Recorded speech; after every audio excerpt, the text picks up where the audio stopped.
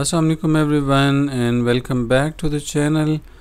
So this is the continuation of the same exam paper March 2024 exam AS Economics paper 2 and in this video I'll explain you question number 4 part A and B.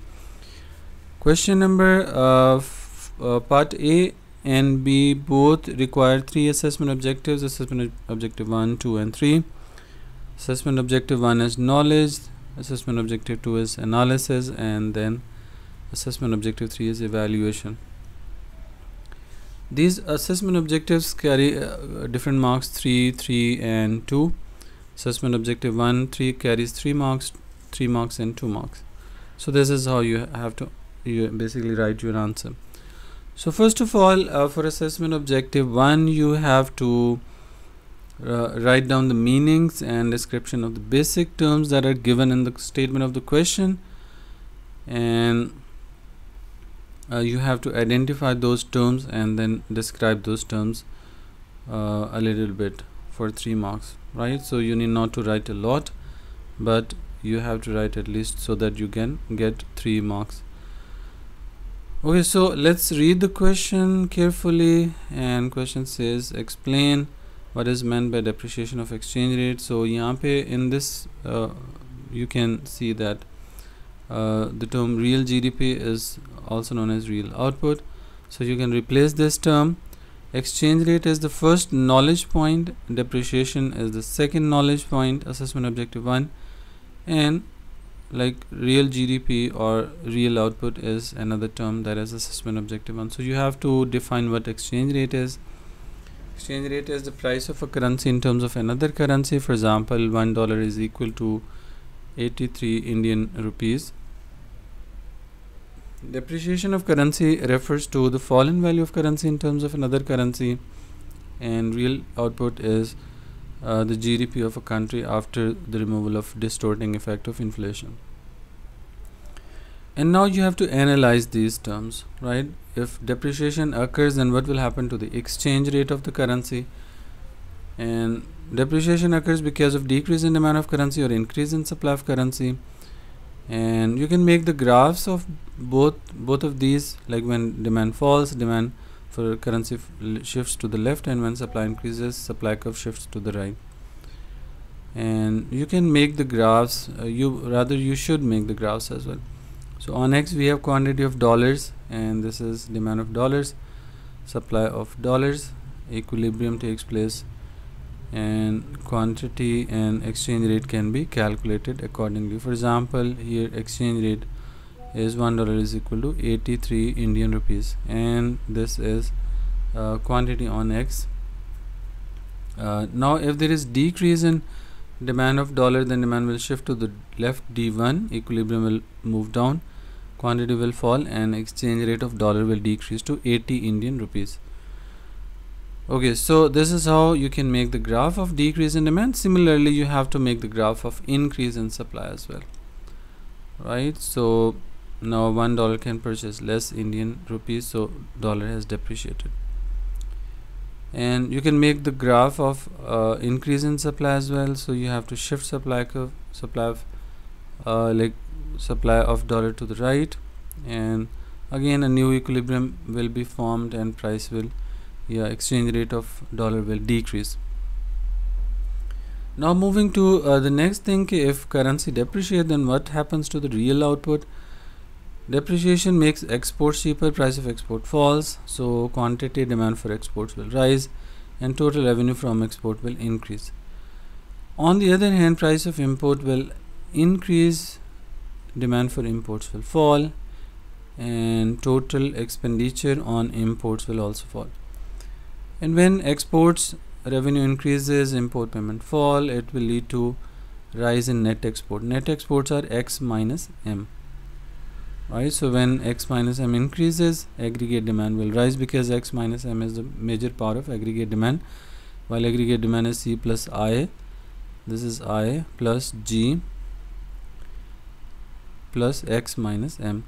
So c is consumption i is investment g is government spending x minus m is net exports.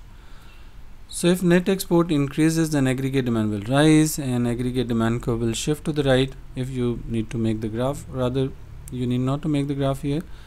Uh, however if you want you can make the graph as well but it is not necessary here to make the graph. When aggregate demand increases real GDP will rise and real GDP uh, economic growth will occur in the country and real GDP will increase. So it may be like inflationary but real GDP increases in this case.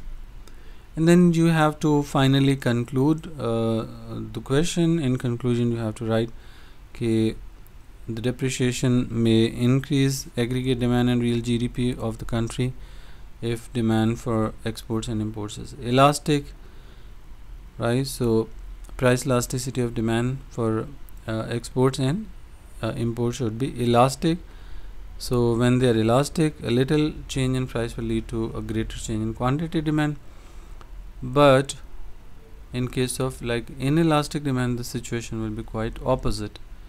Elastic demand is when a little change in price leads to a greater change in quantity demand while inelastic demand is when a greater change in price leads to a le lesser change in quantity demand so you can see the exact answer section C question number 4a so you can stop the video read the answer or you can take screenshot. You have to make the graph. This is the graph that I was saying about and leftward shift in the demand curve. And this is a rightward shift in the supply of dollars and fall in value of dollar from 83 Indian rupees to 80 rupees okay so then whenever you make graph you have to explain that gra graph as well. And this is uh, the rest of the part of this question and then you have to give conclusion as well. So this is uh, part A complete answer of part A of question number 4 now moving to uh, question number 4b part. Let me remove this first and so that I, I can further write on this area of the page. Okay so question number uh, B again requires assessment objective 1 2 3 and right you have to identify the knowledge points. And knowledge points like include uh, fiscal policy. Fiscal policy is the knowledge point. Contractionary fiscal policy is the knowledge point. Deficit current account is knowledge point. And balance of payment is the knowledge point. You have to describe these terms uh, as an assessment objective one now moving to the analysis part okay how contractionary fiscal policy will uh, achieve this objective. In contractionary policy, tax rate increases, government expenditure decreases, aggregate demand will fall. And when aggregate demand falls, it decreases price level in the country. And you can make the graph of this like aggregate demand, aggregate supply curve as well and shift aggregate demand curve to the left. When aggregate demand shifts to the left, then price level will decrease real GDP will fall, economic growth will slow down, unemployment will rise, but price level is controlled. So when price level in the local economy is low, then exports may rise because price level is low. So exports may increase when export increases, export earning may rise, export may rise and imports may fall. So when export earning is high, import payment is low it will increase uh, net exports and correct the balance of payment deficit current account okay so current account deficit is corrected this way and then you have to like evaluate this policy as well. You will say that fiscal policy might not always be effective because if it is not well aligned with uh, the monetary policy then it will be ineffective. And you can talk about uh, the supply side policy and supply side policy uh, can be more effective as compared to the fiscal policy because through education and training of workers through trade union reforms through capital expenditure of the government on long-term projects and through provision of subsidy government can increase investments in the country and improve uh, overall economic activity in the country. Employment and growth will also increase.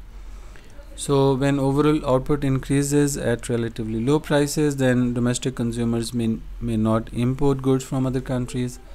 So imports may fall and exports may rise because now your prices are low. So uh, the other countries may be comfortable purchasing goods from you so exports will increase imports will fall so balance of payment current account deficit can be corrected. So this is how you can write about the fiscal policy. Then you can talk about uh, some limitations of the fiscal policy as well as supply side policy as, as well. So in supply side policy subsidy may be, may be misused workers might not learn the new skills so education and training provided by the government may be wasted. So at the end you have to uh, like say that fiscal policy has time lag like it takes time to uh, identify the issue and make policy and then implement the policy and getting the results.